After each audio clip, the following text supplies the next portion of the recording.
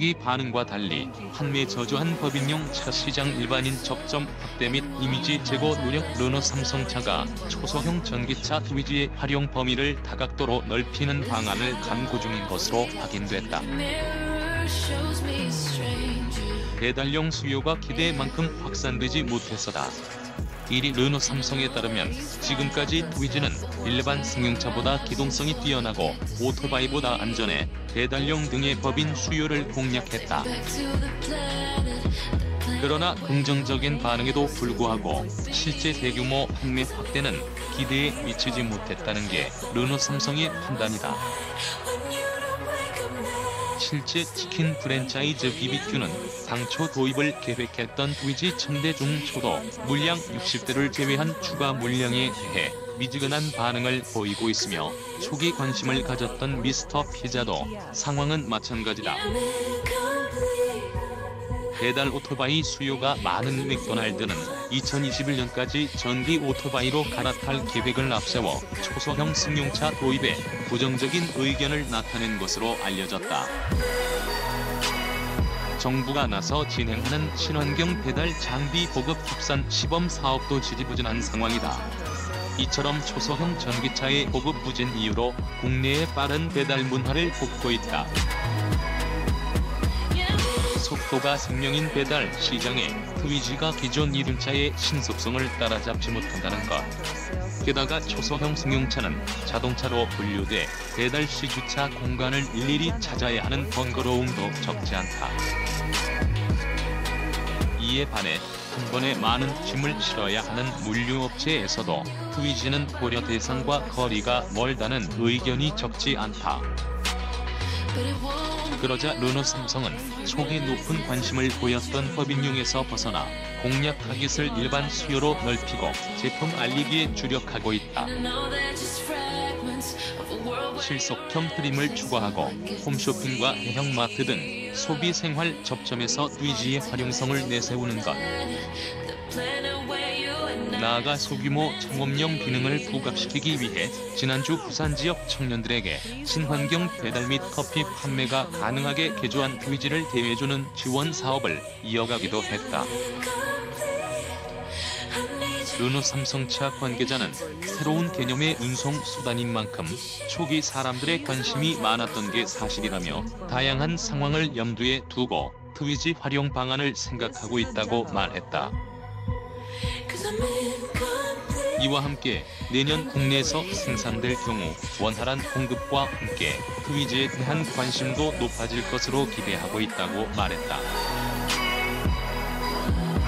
한편 트위지는 2020년부터 르노 삼성차 부산 공장에서 본격 생산되며 내수와 수출을 포함해 연간 5천 대 가량을 생산하되 향후 1만 5천 대까지 늘려갈 계획이다.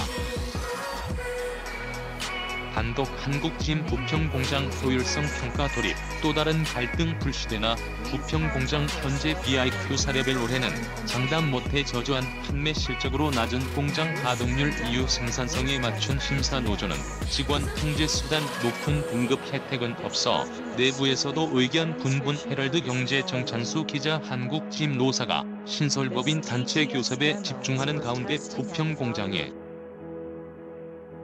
GM 본사의 글로벌 기준에 맞춘 정기적인 인증 절차지만 공장 가동률이 낮은 데다 실질적인 생산 환경 개선 효과가 미미해 내부에선 무용론이 제기되고 있다. 인력, 표준화, 품질, 생산시간, 지속적인 개선이라는 다섯 가지 원칙을 적용한 GM의 특수한 셈법이 대입된 질문들이 많기 때문이다.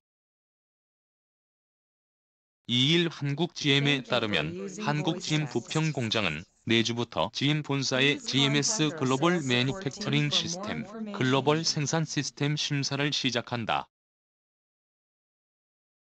GMS는 GM이 생산성 수준부터 장비 체계, 운영자의 라인 설계 등 전 세계 생산 공장의 제조 과정 전반을 측정하는 독특한 인증 척도다.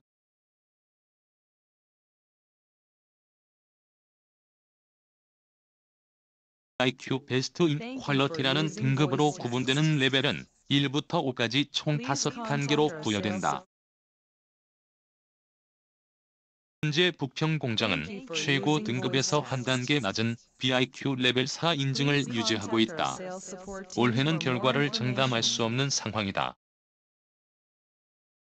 량이 적어 공장 가동률이 떨어진 데다 신설법인 단체 교섭과 임금 및 단체 협상을 앞두고 있어 경쟁력 부문에서 높은 점수를 받기 어려워 보여서다.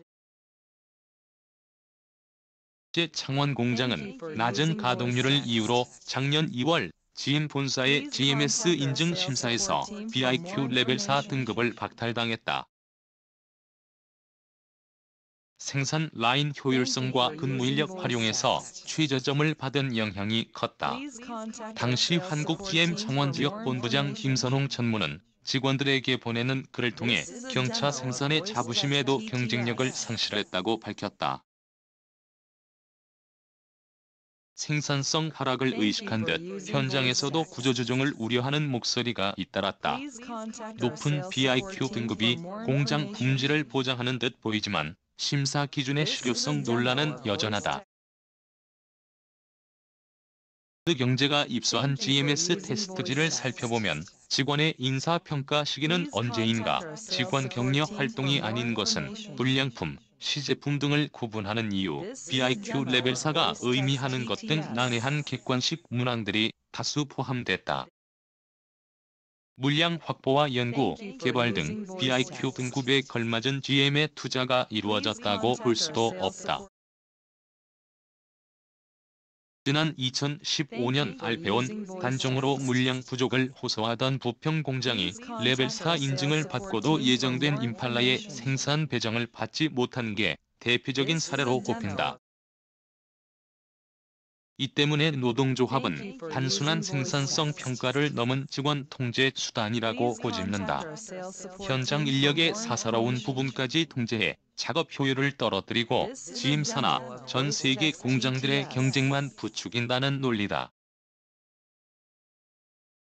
매년 높은 등급을 받기 위해 공장 외관 정비에도 적잖은 비용이 들어간다는 지적도 여전하다. 지난해 노조는 부평 공장의 GMS 심사를 거부했으나 올해는 사정이 다르다. 가동률 하락의 이유를 직원들에게 돌린다는 불만에도 GM 본사의 잣대를 거스를 수 있는 명분이 없어서다. 부평 공장의 BIQ 등급에 주목되는 이유다. 업계 한 관계자는 저조한 판매 실적에 부평 공장 가동률마저 계속 떨어진 상황에서 창원 공장처럼 낮은 등급을 받게 되면 구조조정 이야기가 다시 불거질 수 있을 것이라며 향후 출시하는 CUV 크로스오버 유틸리티 차와 연구, 개발 중인 신차의 성공적인 준비를 위해서라도 높은 등급이 필요하다고 했다.